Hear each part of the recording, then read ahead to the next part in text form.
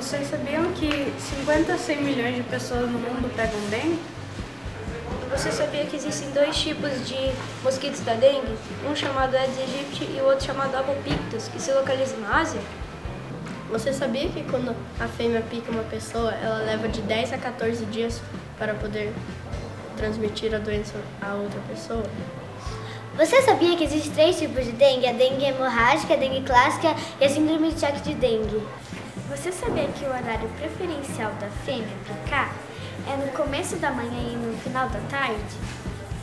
Como se prevenir, todo mundo já sabe, mas é bom ressaltar que a gente não pode deixar água parada e colocar areia em volta dos vasos.